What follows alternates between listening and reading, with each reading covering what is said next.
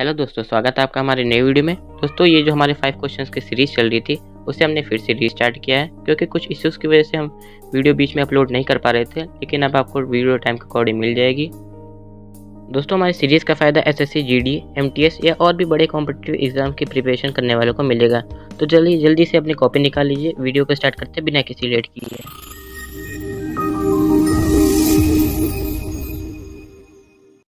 चलिए दोस्तों last video में पूछे गए बोनस क्वेश्चन का आंसर देखते हैं। और हमारा बोनस क्वेश्चन ये था the basic hydroxide which is soluble in water जिसे हम एच बोलते हैं इस कॉल्ड और इसके ऑप्शन हैं। A base B alkali C matter और डी एसिड तो दोस्तों, इसका करेक्ट आंसर है ए बेस चलिए आज के पाँच क्वेश्चन को देखते हैं।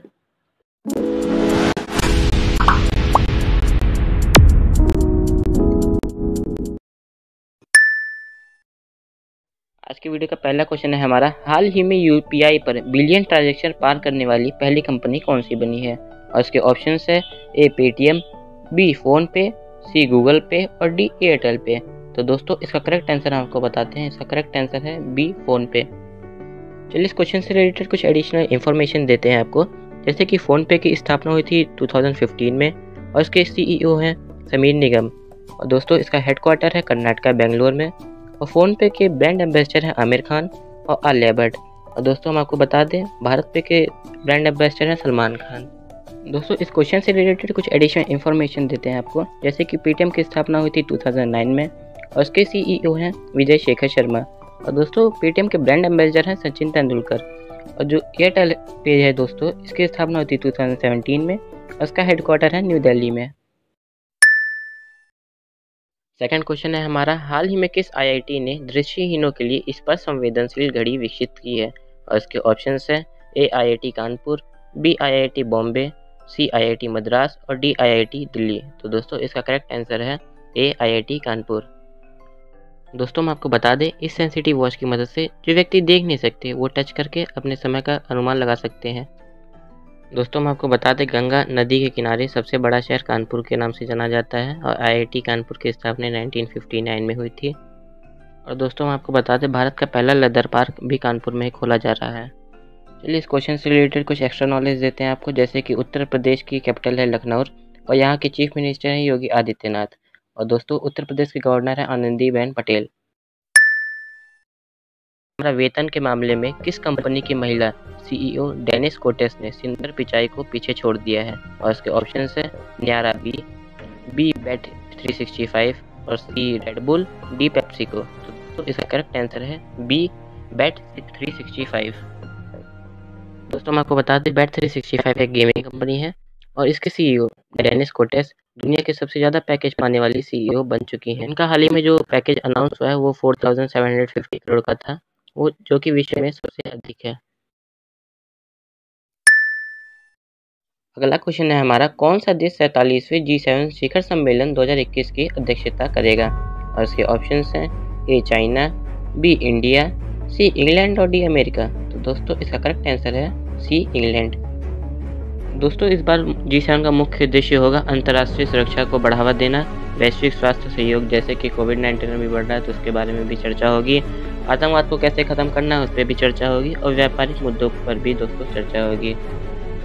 तो जी सेवन के मेंबर्स के नाम आपको स्क्रीन पर दिख जाएँगे। आप चाहे तो स्क्रीन ले सकते हैं। हम आपको एक अहम जानकारी देना चाहेंगे। 2014 से पहले दोस्तों जी सेवन को जी एट के नाम से जाना जाता था, क्योंकि इसमें रशिया भी एक मेंबर के रूप में थी, लेकिन कुछ इश्यूज़ की वजह से उसे निकाल दिया गया। अब इसे जी सेवन के नाम से जाना जाता है। दोस्तों, इस क्वेश्चन में इंग्लैंड की बात की गई है। तो ये है मैप में इंग्लैंड और इसकी कैपिटल है लंदन और यहाँ की करेंसी है पाउंड दोस्तों, हम आपको बता दें, यहाँ के मोस्टली लोग इंग्लिश लैंग्वेज बोलते हैं। और यहाँ के प्राइम मिनिस्टर हैं बोरिस जॉनसन ये 2019 से ही यहाँ के प्राइम मिनिस्टर हैं। और यहाँ पे दोस्तों, कोई भी प्रेसिडेंट नहीं होता। यहाँ पे सिर्फ़ प्राइम मिनिस्टर होते हैं। दोस्तों, उम्मीद करता हूँ आपको वीडियो पसंद आ रहे होगी और क्वेश्चन समझ में आ रहे होंगे। आप कमेंट बॉक्स में लिख के ज़रूर बताइएगा कि आपको पहले से कितने क्वेश्चन के आंसर पता थे। चलिए बढ़ते हैं अपने अगले क्वेश्चन की ओर। दोस्तों, आज की वीडियो का हमारा अगला और आखिरी क्वेश्चन है, कौन सा अंतर्राष्ट्रीय हवाई अड्डा दुनिया का पहला स्मार्ट रीडिंग हवाई अड्डा बन गया है?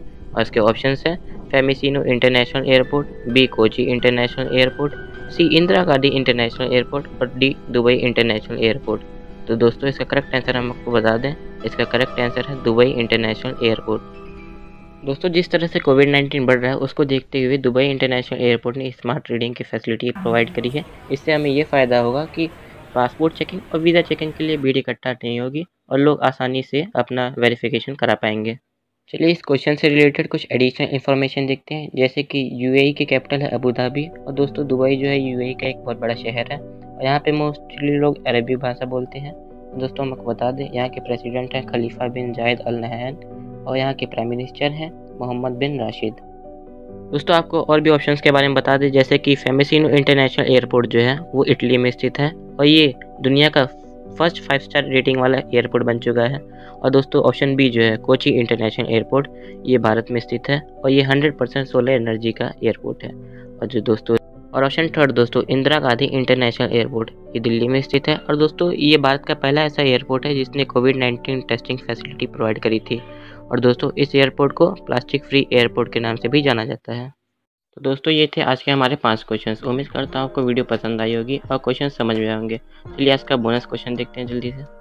आज की वीडियो का बोनस क्वेश्चन है हमारा which of the following percentage of Pakistan is illiterate और इसके ऑप्शन हैं A twenty percent B forty percent C sixty percent और डी एटी परसेंट दोस्तों, इसका करेक्ट आंसर आपको कमेंट बॉक्स में लिखना है। दोस्तों, अगर आपको हमारा वीडियो इन्फॉर्मेटिव लगा हो और हेल्पफुल लगा हो तो अपने दोस्तों से ज़रूर शेयर कीजिएगा। हम आपके लिए ऐसे इन्फॉर्मेटिव वीडियोस लाते रहेंगे। तब तक आप चैनल को सब्सक्राइब कर दीजिएगा। मिलते हैं अपने अगले वीडियो में। Take care bye bye